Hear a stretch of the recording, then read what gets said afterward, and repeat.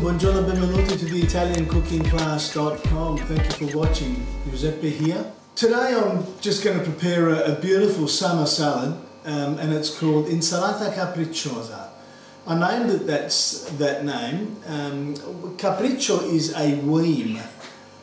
And how this recipe came about was I was just sitting there, relaxed, closing my eyes in the restaurant one day and I just thought, what can life bring to me as a new creation in my menu?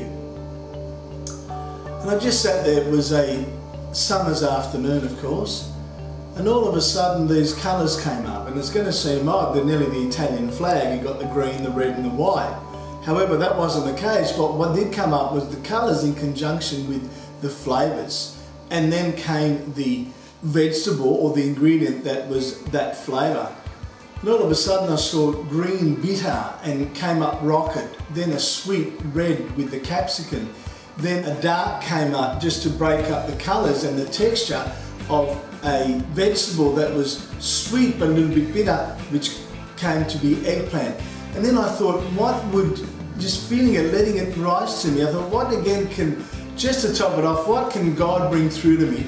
And pow, out came this white, beautiful colour contrast but the flavour was a nice creamy texture that was going to actually permeate through all of the ingredients, especially when I squeezed lemon juice on it, and that was cheese. But not only cheese, it's goat's cheese. Goat's cheese is very creamy, very nutritional, and also it, it is has that little bit of tartness to it. And then to top it off, some olive oil and some lemon juice just to bring all the flavours out of the individual ingredients and combines it all together and I'll just show you the ingredients down here. Obviously we have some rocket there.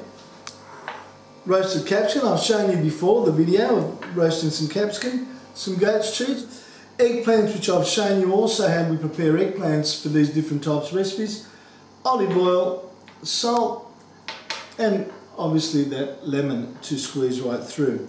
Now what we're going to do firstly is just simply slither the eggplants or break them up now Bertie likes it in the background too. He loves the thought of what we're doing here because he loves the green.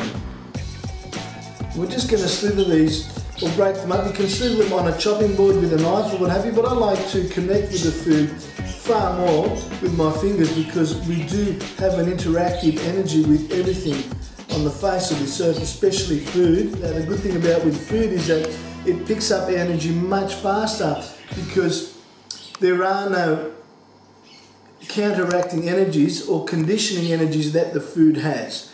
And what we have is conditioning beliefs and energies that limit us or condition us in ways. But food picks up energy straight away. That's why I always say, give it all the love.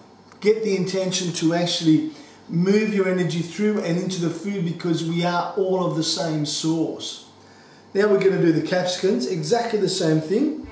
We're just going to slither, pull those apart. Again, you can slither them as thick or as thin as you like. Just break them up. Pass them through there like that and just put them in and around. Now we'll add the goat cheese to that. Again folks, you can add as much or as little of any of these ingredients as you like.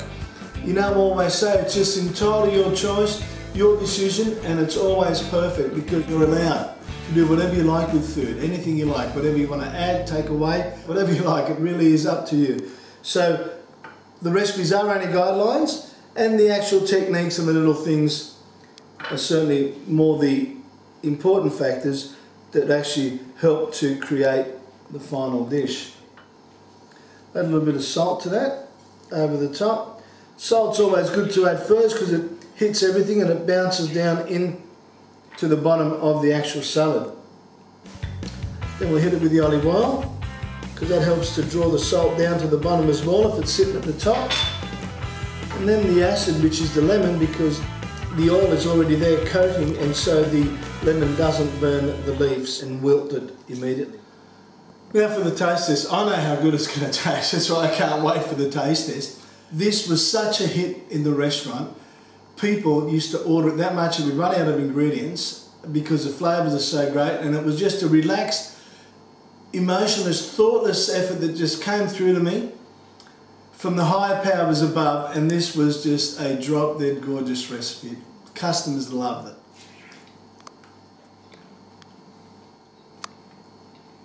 Mamma mia, quanto è buono. The eggplant, the nutty flavour of the eggplants, the sweetness of the capsicum, the creaminess of the goat's cheese, and then the bitter salad coming through. It is stupendous. You have to try this. Get your friends around, share it with some other beautiful dishes that you may create. Let it all flow. Give it the love, folks. Share the video with your friends. Follow us on Facebook. This is Insalata Capricciosa with ItalianCookingClass.com. Thank you for watching. Arrivederci. Buon appetito.